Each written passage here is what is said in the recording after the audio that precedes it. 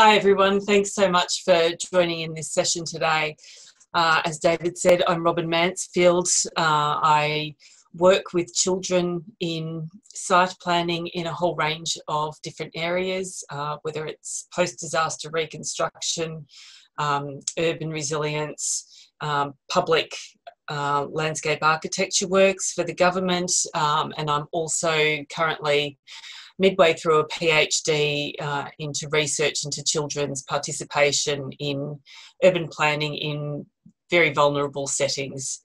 Uh, so this fits in very nicely with that, and I, am really hoping that um, this assists in joining child protection and the minimum standards along with uh, the SPHERE guidelines um, and gives you all some sort of background and understanding as to how you can help impact uh, in this space.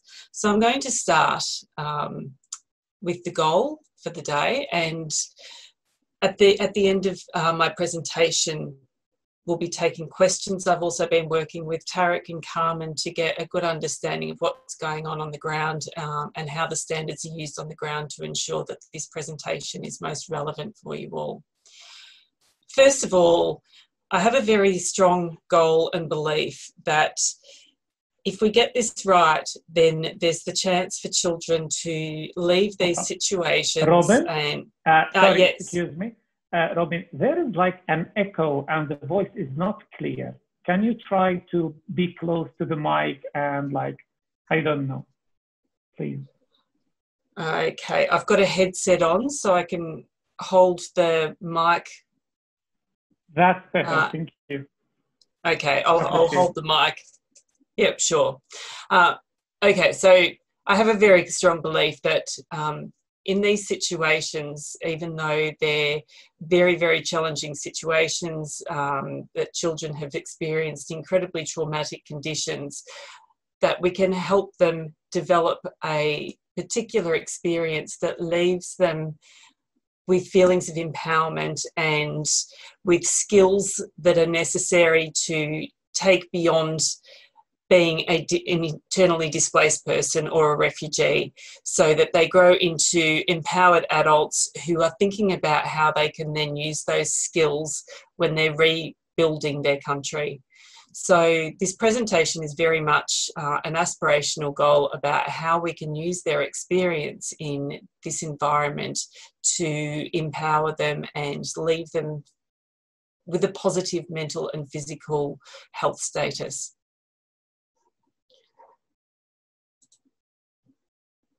To give you a brief overview of what the presentation is going to include, we're going to have a, a discussion about the policy, what the benefits of involving children in um, urban planning in these camp scenarios are, uh, and then we'll break it down into the different processes of urban planning to demonstrate how children can be involved uh, at each, each stage of the process and how you can think about how you might uh, bring them into each part of the process.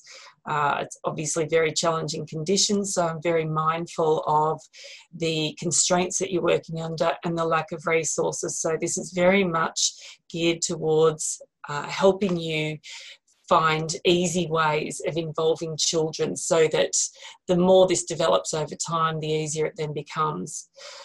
I've then got some ideas on how children can be involved. Um, some resources when there are no resources, so other ways that you can involve them without needing uh, additional input. A few inspiration boards, including uh, one that has been uh, put together by a young person.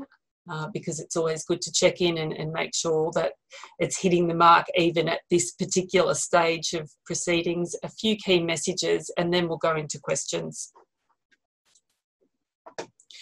So, in terms of the policy environment, the number one policy component that underpins this is the minimum standards for child protection in humanitarian action, in particular, Standard 27 shelter and settlement and child protection. The principles that I'm drawing on to put together this presentation come from a whole range of supporting principles, including the SPHERE Handbook, the Child Friendly Cities framework that UNICEF put together. Uh, it's very much used for permanent urban settings. However, the, the principles apply in these scenarios as well because it's all about creating the physical environment around you, whether that's temporary or permanent. The principles are still very, very similar. Uh, Words into Action, which is a, a United Nations disaster risk reduction booklet, uh, which shows how children can be involved in trying to prevent further disaster. So, obviously, when you're in these um, difficult camp settings, uh, the, the camps themselves are, are exposed to um, very challenging physical conditions. Uh, as I understand it, in this particular case, you've got some real terrain challenges, but also weather challenges. So, how children can be involved in thinking about how are you going to prevent uh, some sort of further trauma in, in situations such as when winter comes or if there's heavy rain, um, preventing landslide and things like that. There's also the child centred urban resilience framework that again has principles that align uh, and so on. So there's a number of policy environments that all work together to help support that standard 27 of the minimum standards for child protection. The benefits of involving children in any sort of urban planning environment and at any stage of the process are enormous the risks when they're not involved, uh, to give you a bit of a, an idea of some of the research that has happened uh, after a disaster, it, when children are not involved, it can leave them with a, a mental traumatic space that is very difficult for them to move past. So, post traumatic stress disorder um, can continue to manifest years later. Um, children are more likely to be drawn into uh, violent political groups um, or to be separated from their families. Um, they're more likely to uh, be susceptible to things like waterborne diseases or other physical impacts that harm their physical and mental health. So they're the consequences of not involving children. When they're actually involved in these processes, it has a very strong empowering uh, impact, which then lasts into adulthood. So it, you will, you can almost think of it as children getting involved in preparation for when they're an adult and feeling like they have uh, a, a greater impact on their physical environment around them. It's also important to understand that children's experience of their physical environment is very different to adults uh, and it, it, it, can be very easy for us to forget what it's what it's like being a child when you're knee height or only a meter tall and you're experiencing this big imposing environment around you particularly when it's a new environment when there's been trauma involved and then trying to adjust to a physical environment where you can't do the things that you used to do as a child where you're also surrounded by thousands and thousands of other highly traumatized people. So, when children are actually involved in any parts of the planning of this space, it then gives them some sense that they have some sort of control over their environment in a positive setting. And those positive experiences can help mitigate some of the impacts of the trauma, but also create a space uh, where they feel like they are part of the place that's going on and that where they feel safe and that they belong in that space for this moment in time. In terms of the minimum standards, there's a very strong principle uh, around children's participation, which talks about uh, and is connected to the Convention on the Rights of the Child around children being able to meaningful participate in all decisions that affect them and this includes during emergency preparedness and response. So, in this case, we're talking about their meaningful participation in the planning of the camp setting. Um, this principle talks about the positive changes that can occur and the impact of children taking on some of that responsibility, but in a setting where protection uh, is also first and foremost in um, the, this policy environment. So the protection of children is critical when looking at any opportunities for them to participate.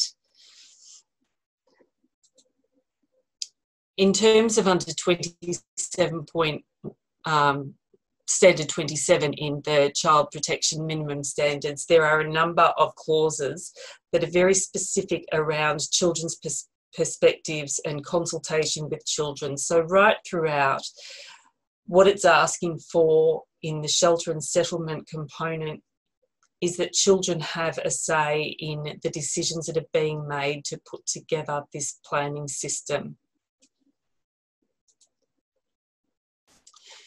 So, starting with the first part of the process around planning and design, I think the most critical thing to think about here is even if if you're not uh, sure of all the different ways that children can be involved or the sorts of decisions they might make, the very first thing to point out is to think about when you're making the decisions, what impact that will have on children, and what might children have to say about this component of what you're working on right now. How will these decisions impact them when they're actually living in these spaces, and how the spaces might change over time that continue to impact children. So, some of the information here, which will be made available to you after uh, as a point of reference, for, for each part of it, the site layout. Is the site layout conducive to children finding their way to child friendly spaces? Or if they're having to navigate the streets of the camp, uh, is it confusing? Are they likely to get lost? Does it feel child friendly to them? Are there spaces where children can go and play? Uh, can they go and kick a ball somewhere and, and let off a bit of steam in a, in a safe place where other children can interact with them? In terms of infrastructure, is, is WASH infrastructure um, able to be accessed by children? Can they understand the signage? Can they understand where they can get water? Do they understand where they can go and wash their hands?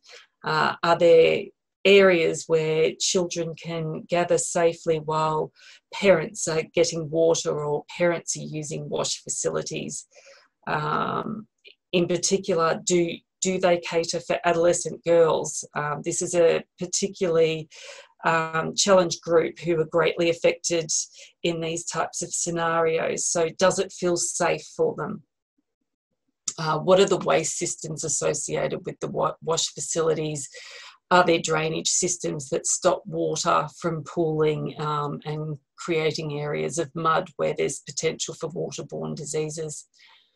In terms of mobility, um, are the streets easy and safe to navigate? Um, are there children with disabilities who are going to find it difficult to use streets that might be particularly rocky or muddy? Um, is there signage um, that is that children can understand so that they can navigate their way easily without feelings of being lost. And are there designated safe routes for children to attend school? Um, one of the um, research projects that's been done uh, on another camp demonstrates that the dropout rate of children at schools is really quite high simply because there is no safe route to school. And we also know that if children are in school, that helps create a safe space that alleviates a lot of the other flow on issues from non attendance. In terms of sensory, children are very sensitive to sensory type scenarios. Uh, so children like to personalise their spaces, they like to beautify. Uh, some of these um, opportunities can be really quite simple um, and uh, zero cost in some cases, and I have some images of examples of this. Um, again, another thing that has come out in some of the consultation that I've done is children gravitate towards greenery. So, is it possible to have any sort of greenery? In terms of images, so uh, an um, IDP camp in an area affected by earthquake. Um, the picture on the top left shows children playing in a drain. So children gravitate towards interesting spaces like drains. They love to play with water. They love to play with mud. So thinking about well, if if you've got open drains, uh, are children going to gravitate towards that and potentially be impacted by waterborne diseases? Um, street infrastructure, if, if it's difficult to navigate, if it's muddy, uh, if you've got pools of water, that can feel very intimidating or scary for children, particularly if you're if they're also sharing that space with vehicles.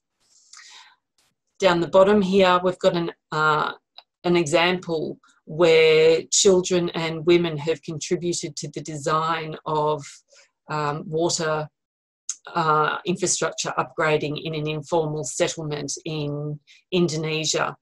Uh, and something as simple as coming up with different designs for their paths has actually made a big impact on that community as they've been able to represent their cultural identity in an area where generally they've had difficulty in doing that.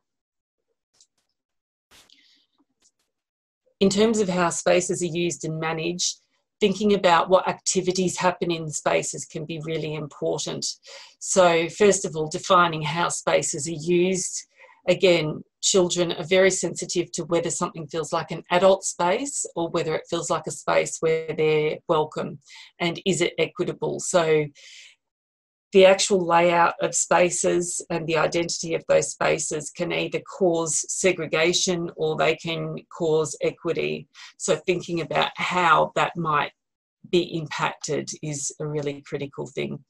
Um, programming the use, simple things like um, a couple of times a week having a sports game, even friendly sports games between adults and children, uh, can really build up rapport. Um, arts and crafts, again, it doesn't take uh, much in the way of resources to come up with creative ways of engaging children in some sort of formal use. And this can also double as uh, uses while parents are going and um, attending to their needs.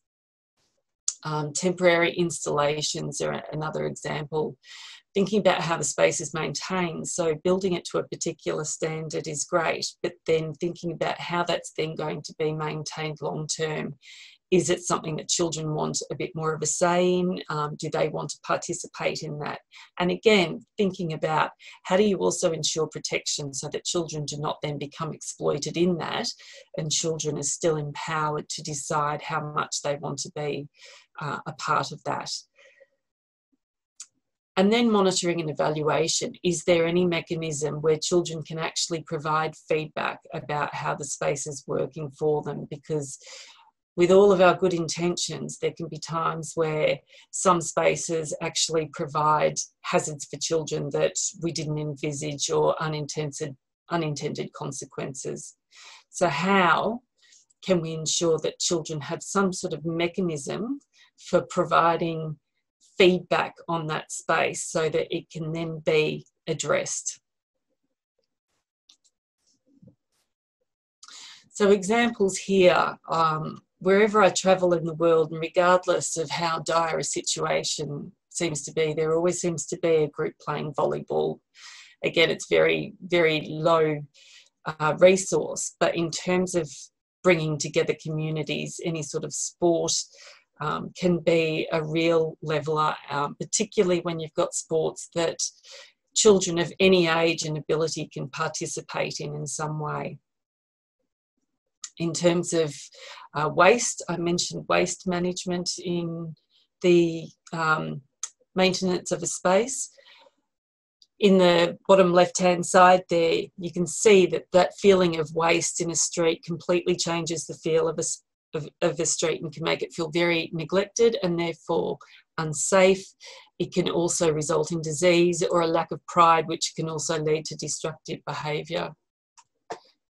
Now, I'm going to play a video of an example. I'll just. Now, can you all see this?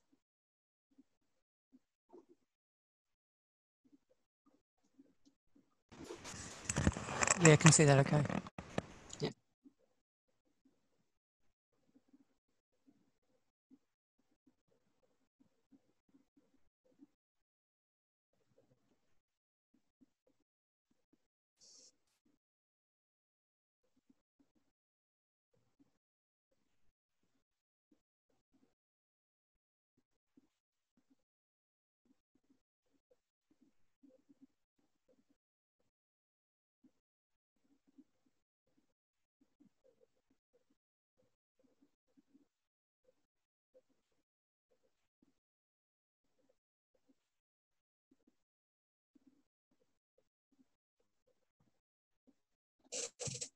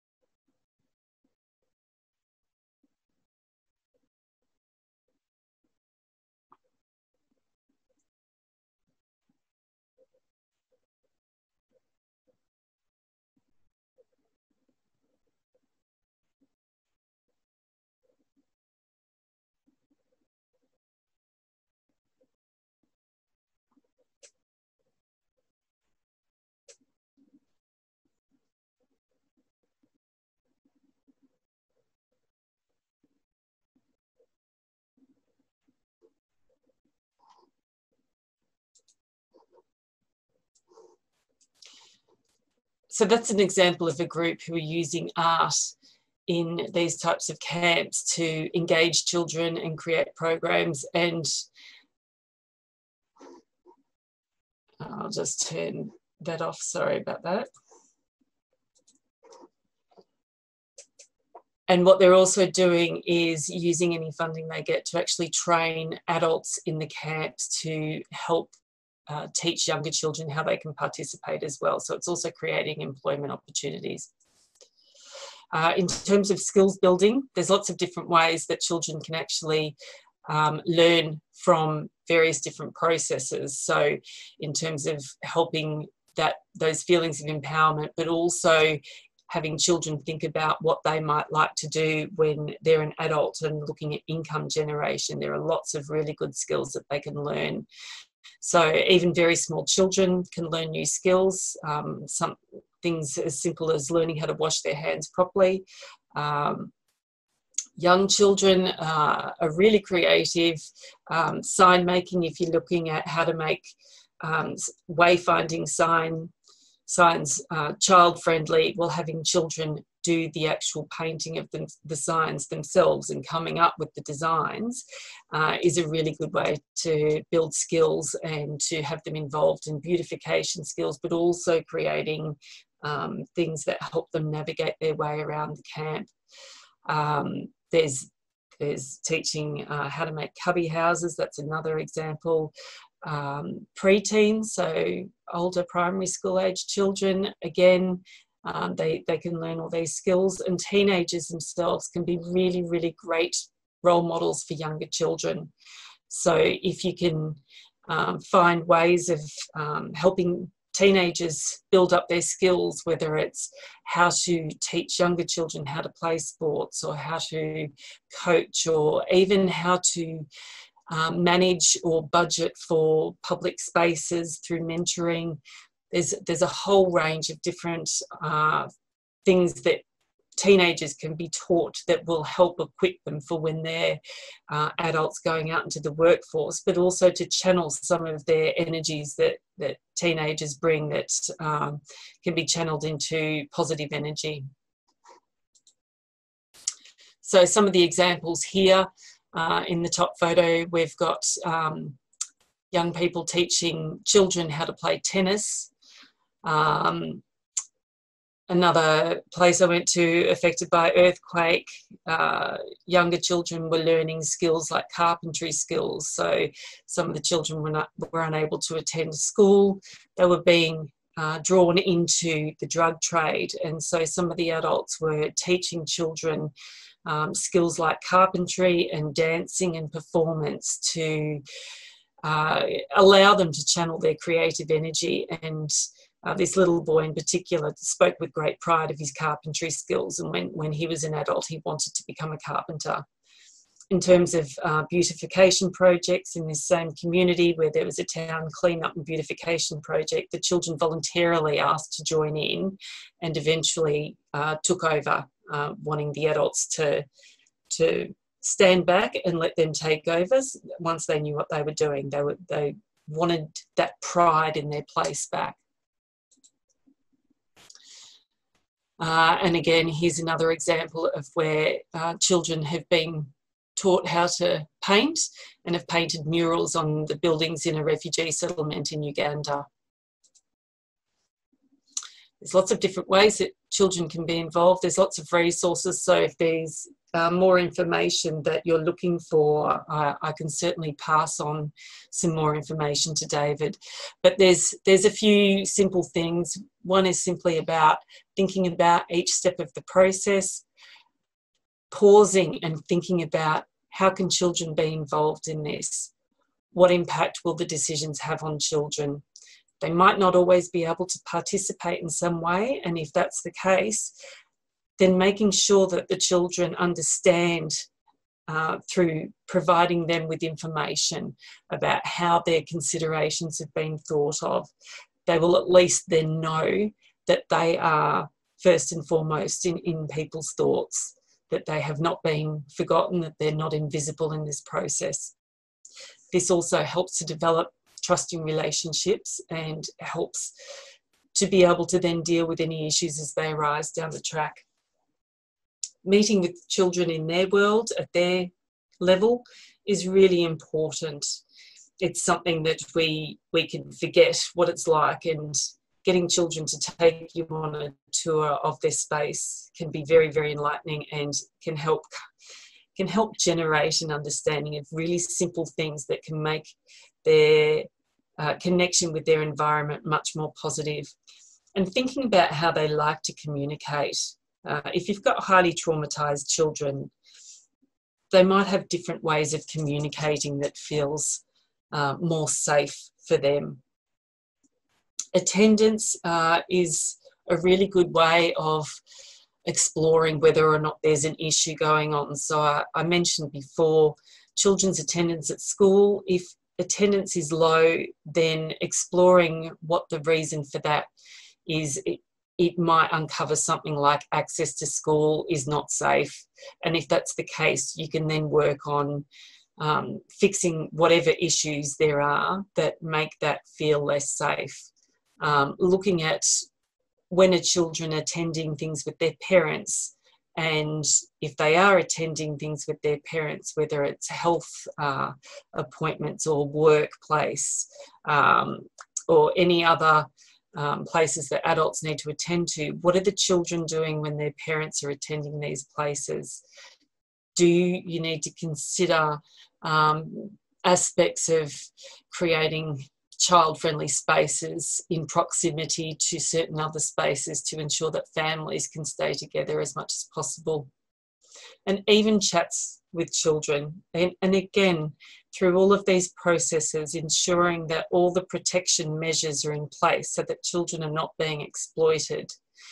But simple chats with children, just the occasional chat when you see them out and about. Um, a, a, few simple things around what do you think of this street, or you know, what do you think of your new house? Those sorts of things can really open up all sorts of um, conversations with children that can be really helpful in developing the spaces. So, a few examples here. Again, I mentioned earlier in, in a consultation session uh, that I ran with children in a refugee camp, it was an overwhelming desire for any sort of greenery, whether it was growing flowers or trees. And the children said that that gave them hope when they saw something growing. Children are also uh, very clever. They're very good at understanding complex information from a very young age. So if you're able to communicate with them in a way that they understand, they will they will be able to contribute to that. An example uh, on the lower left hand side is a three year old in the refugee settlement that three of us went and spoke with. Uh, once she'd made us cups of tea with her uh, toy set she then described about how she was the kid in the neighbourhood who looked after all of the stray cats. And so when her mum wasn't around, she would leave meat in the window to attract all the cats. And then she said it, it made her feel calm if she could then pat the cats. And so the drawing next to that picture is her picture of the cats. And she was then able to tell us this story about how important those cats were and thinking about children and how they navigate their environment, quite often in these scenarios, children will be looking after younger members of the family. And so they have to take on quite a bit of responsibility. And what that means is they really do understand their environment well. Now we're getting we're getting near the end. So as I mentioned earlier, there's no resources we understand that. So, thinking about what you do have uh, at your disposal, you've got people with skills and capabilities. So, what are those skills and capabilities, and how can they help connect with children? What have you got in the existing environment? Is there sand? Are there rocks? Are there twigs and so on? Can they be used in some way? Waste, there's, there's going to be waste. Uh, and waste can be used in a whole different sort of ways and you'll see some photos in, in a minute to um, give some inspiration there. Um, wash facilities are, are required to be installed. So is it going to be uh, child-friendly wash facilities? Is it uh, safe and easy to access by children? So here's a few examples again, uh, in the earthquake scenario, there were lots of taps that were talking about how the water that was available on the streets was not safe to drink and it was there for washing only, but it was in, it was written. Uh, so it wasn't child friendly signage. In terms of the different taps that you can use off the UNICEF website, there are several different taps. Some of them are easy to use for young children, others they have trouble turning the taps. So, thinking about if you want children to be able to access water, particularly to wash their hands regularly, can they actually turn the taps on? Can they actually reach the taps?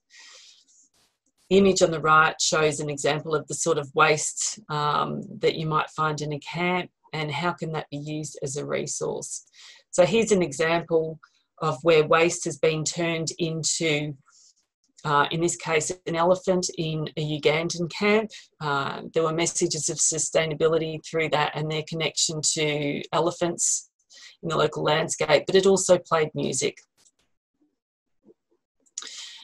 In terms of some inspiration, I mentioned earlier that uh, I checked in with a teenager on what sorts of things they think would affect them um, most greatly in um, this type of scenario and what sorts of things did they think that children might want to do. So ideas that were brought up with things like buddy systems between younger and older children to make it feel safer walking to school.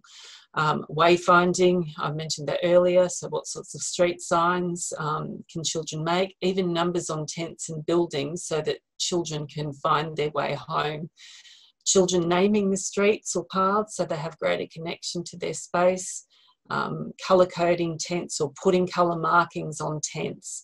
Um, one of the ideas um, was about communal bicycles, finding a sponsor to provide communi um, communal bicycles to make it easier to get around toilets. So again, that, that one's listed as a high resource uh, opportunity. But from time to time, there are sponsors who want to contribute something to these types of scenarios.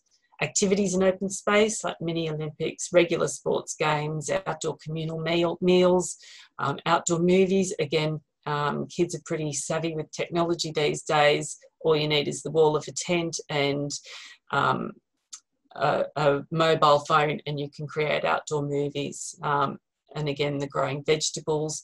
And another idea was mailboxes at each tent so children can leave each other messages. So that was from a child. in terms of using waste, um, here's a number of examples like um, using bottles to create walls or, or gardens, um, creating play toys for children, um, but also using uh, waste to actually beautify some of the fences and barriers around the place that normally would look quite intimidating. But as soon as you start to use the waste and attach them to the fences, it completely changes the feeling of a space for children. And a few more ideas here again using bottles toilets and how they're designed and how they look and feel is really, really critical. So if children don't feel safe, they're not going to use the facilities in a, in a safe way. So there's lots of examples where children will then um, defecate outside the building or on the floor of the building because the toilets themselves don't feel safe. Um, and there are lots of ways that have been tested to make it feel um, safer for kids um, or to have waiting areas so that if if uh, a parent is there with three or four children that while the other children are waiting they're actually in a safe space where they're not going to disappear. Again playing sport making sports equipment out of waste and uh, an image of the, the sort of buddy system that you might have. So the key messages from this when when planning the layout of a camp the four key messages children are the experts in how they navigate their new environments. So, thinking about how you can tap into that expertise uh, is the starting point for involving children. Thinking about each step of your process and the impact of the decisions on sh- both short and long term development of children.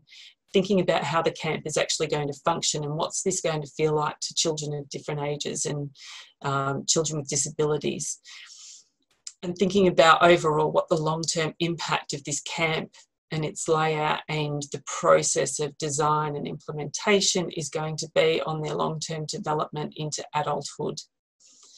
All of these things will help give inspiration to different ways that children can participate in the planning of the camp and the long term functionality of it. So thank you. I'm going to hand over, and Carmen and Tarek are here as well, um, who can also add any additional mes- messages um, to do with child protection and how that connects with uh, this presentation. They're also here. Thank you, David. Fantastic. Thank, thanks, Robin. Thanks so much. That's um, uh, incredibly inspiring and also something that I think we can all learn from in terms of um, uh, site planning. It's in, in involving uh, children and um, the the spaces and uh, you know, great great presentation. Open up the floor for questions. I um, saw one in the chat uh, just earlier uh, from um, Mercy Corps.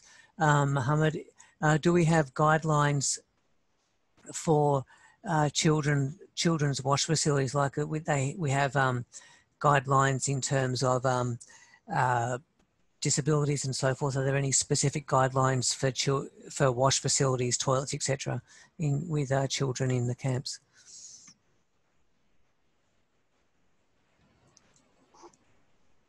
I'm just wondering if um, Carmen wants to answer that. Um, there, there are um, there are some okay. guidelines Sorry. for child-friendly spaces, but uh, I might I'll hand just, over I'll just to Carmen. Unmute, I'll just unmute Carmen. Sorry, sorry, um, sorry, Carmen. Let me unmute you.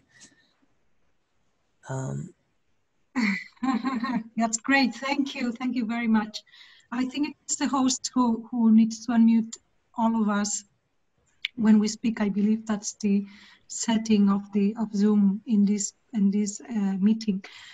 Uh, yeah, thank you, um, Robin and David, for for inviting us and uh, for this very relevant um, initiative. Can you all hear me? Yes. Okay. Yes, yes, Great.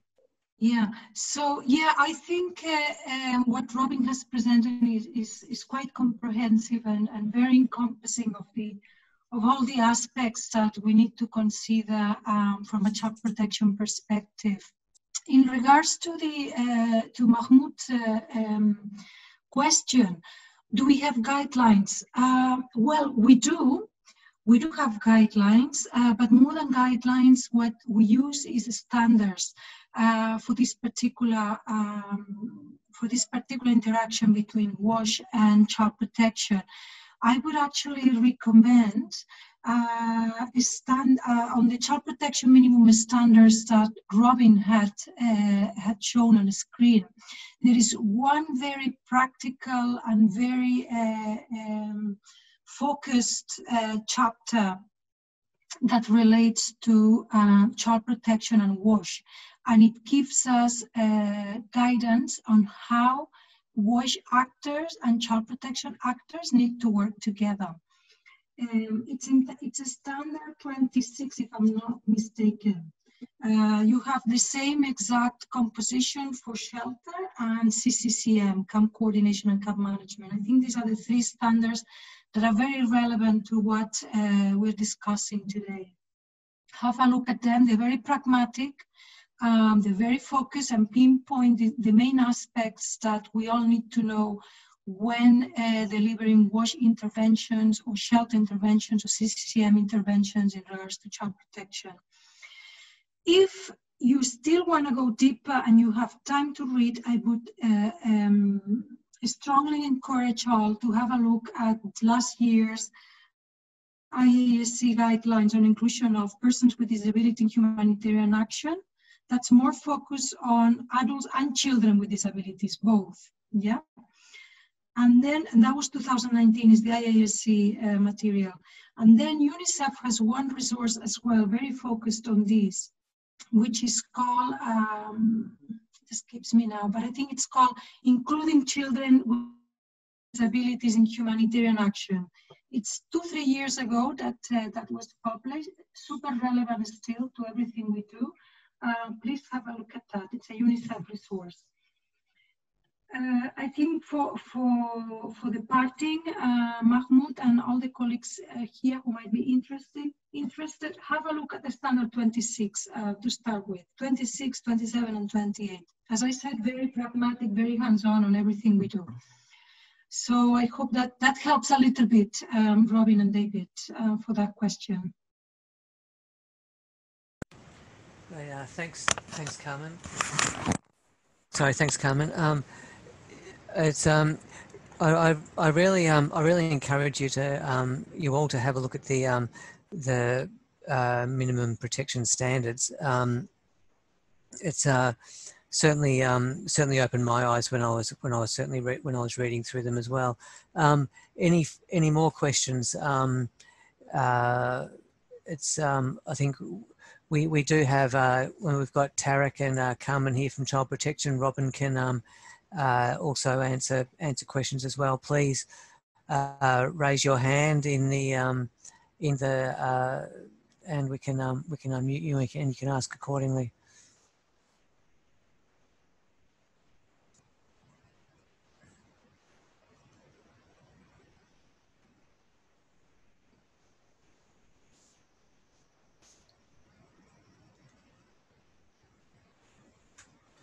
Uh, I'll uh, well, I'll, I'll um, also continue. I'll continue the ball rolling in in terms of that, uh, Robin. Just in terms of the um, uh, that notion of the uh, child-friendly uh, space that we all uh, hear a lot about, and the um, the association of the child-friendly space to the women-friendly space and so forth, and also mm-hmm. Um, possible open other other open spaces. Um, you know, there, I suppose there is a lot to consider in terms of uh, the location of those and the design of those spaces, rather than them simply just being a um, a, a, rectangle on a plan. Um, mm. Have you got any got any more thoughts on on, on those? Yeah, absolutely. So uh, they can be fairly simple, but their lo- location is really critical, as is the access to them and the visibility into those spaces. So nat- natural surveillance, so to speak. Uh, in terms of how that space is divided up to cater for different ages that's also something else to consider because smaller smaller children or particularly traumatized children are going to want to feel safer with uh, their backs to something so that they can see. And quite often children who've experienced trauma want to be able to watch other children play without actually joining in. Uh, when when a space is closed off too much, it can actually cause um, antisocial behaviour um, if it's not visible to other areas, or if it feels like a space that can be um, taken over by one particular group of people. That can feel very unsafe, but that can also create a space where um, unsavoury behaviour occurs part of that can be dealt with through the actual programming of that space.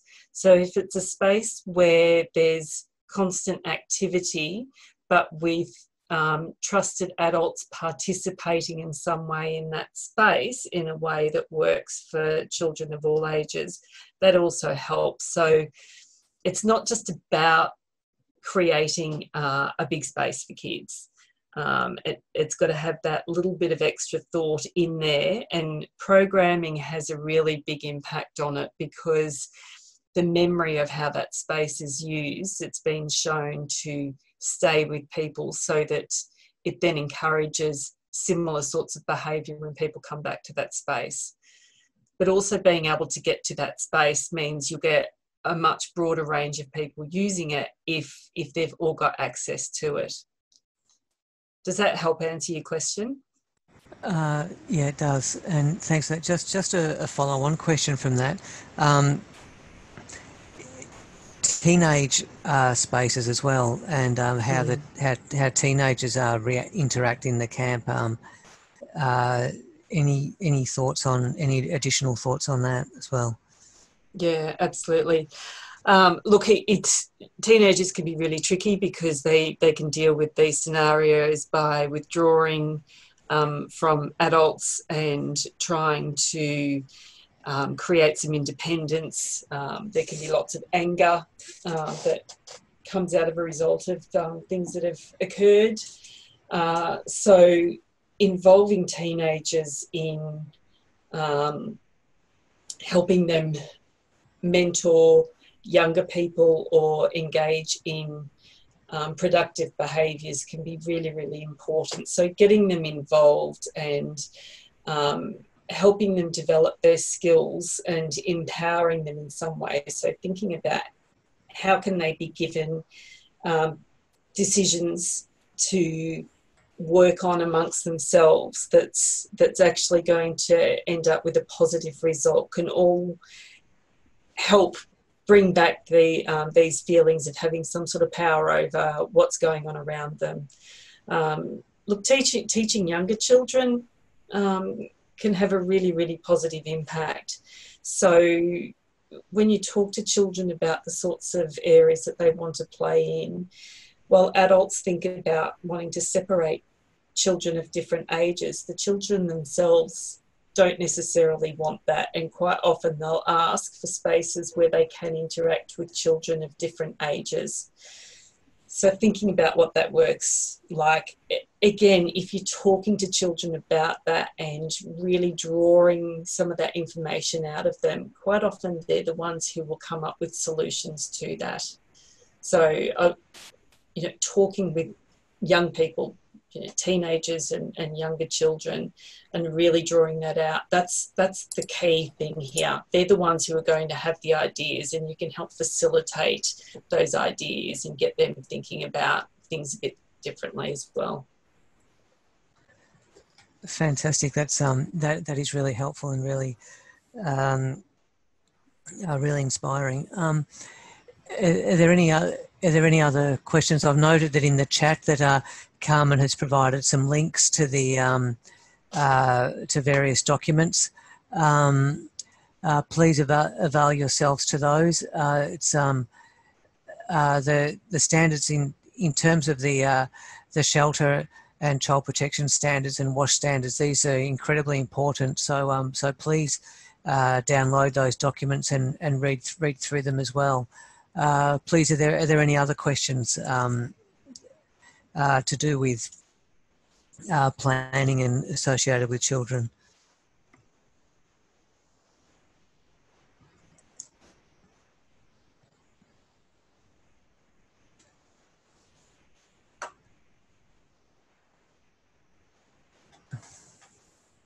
Actually, I'm going to continue the ball rolling as well because I find these topics fascinating. Just, just, just, just one, one question to um, to Carmen. Um, in terms of the uh, role that that uh, CCCM has to play uh, in this, are you able to expand on that uh, a little bit?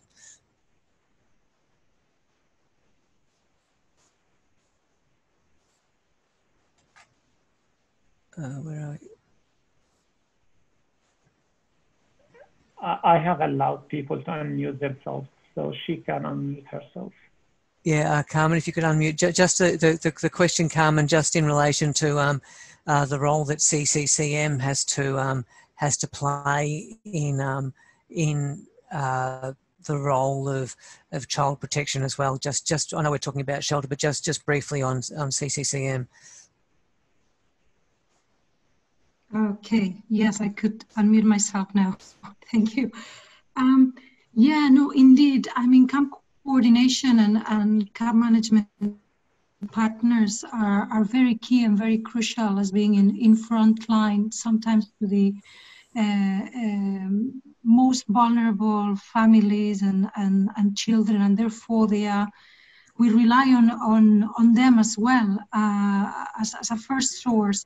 Um, we understand they're not protection actors, and I don't think anyone is expected to, to do everything everywhere. And, and that is normal. That's why we work with clusters uh, and the cluster approach and structure. So for from our partners in CCCM, what I think is um, very, very um, beneficial for, for both of our clusters is that um, when they are in the front line in, in camp design, they'll start from day one. When they design their camp, if those considerations are taken on board, um, it will have a long-term impact on the on children well-being and, and overall family staying in, the, in, in these camps, in this setting or in this reception center. So from date number one, the design is important, involving children from the very early stages. Um, we already have uh, camps that are ongoing since uh, since years, and there's a structure and a way of working. Um, what is important in those settings as well is the uh, actual referral to protection. Uh, when the CCCM partners come across a family situation or come across to a vulnerability emanating from a child, um, what is important for them is that they are able to identify it and able to refer that child and know where. Um, in many of those settings, we do have protection partners, we do have uh, either GBV partners or child protection partners or both um, so that, that that actual contact uh, and interface between one cluster and the other takes place. Um, today, the child protection subcluster, we're aware of very few uh, referrals that are happening from camp management to child protection actors. And um, we would like to see these uh, more fluid and, and more ongoing uh, as we build because uh, in the past we do get referrals from the health sector, from education especially. We do get quite a lot of referrals from their side. But I would say perhaps on the CCCM is something we haven't seen um, so prominently. So perhaps it is a, a matter of awareness as well, of knowing who is available and where, and knowing what each of us is doing and the value that we bring and, uh, uh, and actually actioning those uh, referrals. Um, no one is asking um, a health partner to be a child protection expert as well, and vice versa. And no one is asking a camp management agency to be a child protection expert. Um, so that is why we work together. And uh, when you come to a situation of children in need, just don't hesitate, just find out who in your area is there from child protection or from a protection partner and make sure the child and his, his or her family are receiving the, the, um, the assistance they need. That would be, uh, in a nutshell, how we would like to operate, um, David. I think there is value in complementing each other, especially our, our co-management partners are the front line um, uh, of, of, uh, of displacement. And, and, we know when there is displacement, uh, there are protection concerns. This is, unfortunately, this always goes hand in hand. When there is displacement, protection issues are either aggravated or newly come up. So um, unfortunately, that's the, the certainty that, that, we have in, in our context. Over from my side.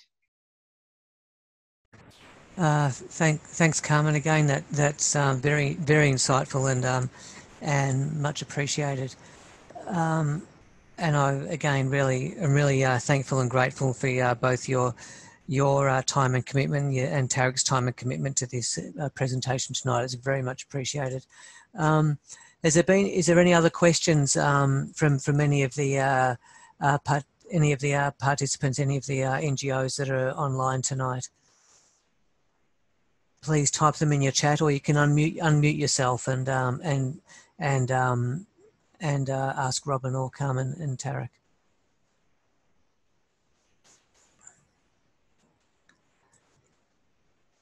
Uh, well, if there's if there's no more uh, if there's no more questions, um, we might um, we might just uh, uh, draw a close uh, to the evening tonight if there's no more questions.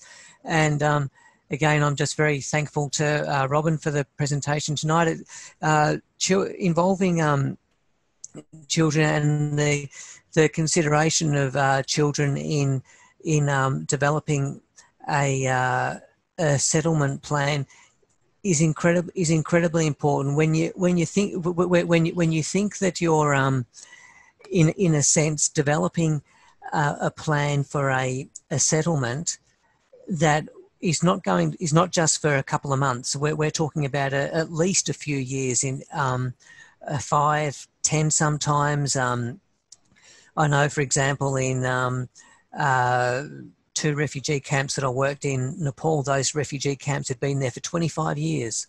Mm. So you're, you're, you're developing a, a um, uh, and with the and with the concrete block uh, shelter settlement settlements that we're talking about, you're develop, going to be developing a, a uh, settlement that is long lasting. So in terms of an overall urban design um, thought uh, and an overall urban design over uh, consideration to your site plan is incredibly important. That involves considering children, considering spaces, green spaces, um, uh, the, the, the whole, um, the, the, whole, you know, get, um, all of that, all of those uh, things could work together really well. So uh, again, I'd like just like to thank Robin for her time tonight, and um, Tarek and Carmen for being involved as well. Thanks, David. And I've just added a couple of free resources um, that people might like to download there that, that give a few ideas about how to go about this. And your point that these places uh, can sometimes uh, be around for years means a lot of the principles in these documents that I've um, shared there are, relevant uh, even though they they set out to be temporary, they do stick around for a long time. Some of those photos of um, the refugee camp that I was in are in a refugee camp in Gaza, um, and some of those settlements have been there since about 1947. So, you know, they all start out as temporary, but to, to continue to treat them that way and not think about the urban environment on children can have very devastating effects long term. Fantastic. Uh, uh, thanks, Robin. And um, uh, again, please, any uh, if any of the uh, participants have got any further further questions, don't hesitate to get in touch with me, and um, I can uh, certainly um, pass Robin's details on to you if that's okay, and um, you can ask questions offline. But again, thank you very much for all your help. Very much appreciated. Um, if there's no more questions, um, yeah uh, good night. And we'll, and just in regard to the presentation for next week, um, we had we had mentioned that it was going to be on quantum uh, GIS, uh, but the uh, uh, Andrea will be uh, hosting a, a further session on Global Mapper and looking at flood analysis and um, how to flood analysis in more depth using the Global Mapper software. Um, so please. Um, uh, you you have the links up, so please uh, come along to that one. That'll be also um, very informative. Um, again, so uh, thank you all and uh, uh, good night. Uh, good good good afternoon, I should say, in your time, but good night in our time. But, but again, th thank you very much. Thanks, David. Thanks, everyone. Thank you, everyone.